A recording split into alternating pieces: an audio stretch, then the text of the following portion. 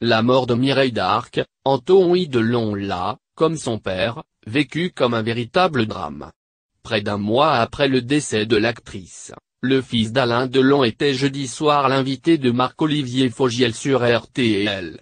L'occasion pour lui de se confier à cœur ouvert sur la relation si particulière qu'il a entretenue toute sa vie avec Mireille d'Arc, elle a vraiment rempli son rôle de belle-mère, même si je trouve que le nom de belle-mère est un peu péjoratif parce qu'elle était plus que ça.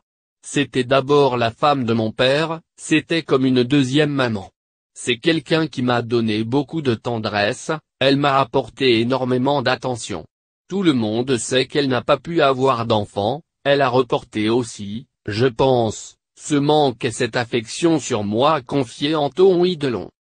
Car pendant 15 ans, c'est Mireille d'Arc, alors en couple avec Alain Delon, qui assure en partie l'éducation d'Antoine Delon.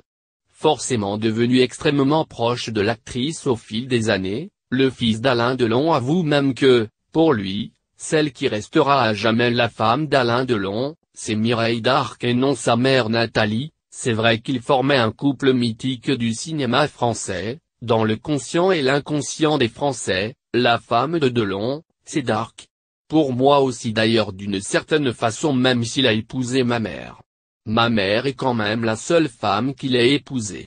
Mais, pour moi, la femme de Delon, c'est Dark, parce que Mireille a construit la vie de mon père.